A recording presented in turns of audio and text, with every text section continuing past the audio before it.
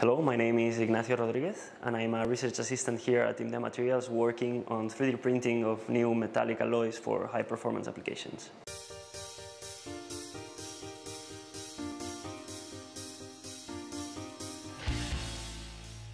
Here at IMDEA Materials we have a, a 3D printing system, a, a, selective laser melting system. So the way it works is we start with a metallic powder which is spread on top of a, on top of a platform and with a high power laser we scan a predefined pattern.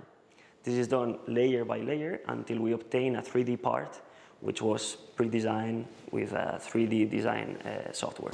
Here, for example, we can see the type of powder that we use.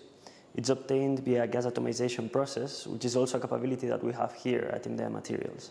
Here at IMDEA, we use a wide range of, of metals and alloys, including aluminum alloys, nickel alloys, cobalt, or steels. We can see here the chamber where the printing takes place. Here we can print pieces up to 60 millimeters in height, and the printing process can take anywhere between 1 and 12 hours. As you can see, unlike with a regular 3D printer that you might use at home, here we need to take some special precautions like wearing the suit or wearing a mask to avoid any sort of contamination from the powder particles.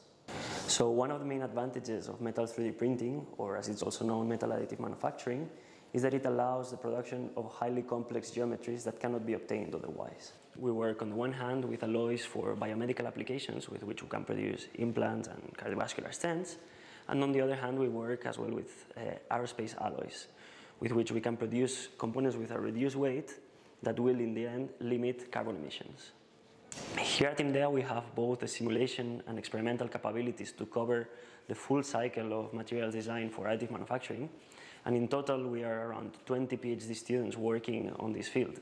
IMDEA Materials is a leading research institution in the field of metal additive manufacturing and from the perspective of a PhD student, it's a great place to work because we go from the most fundamental science to industrial applications in very close relationship with leading industrial partners both in Spain and all around the world.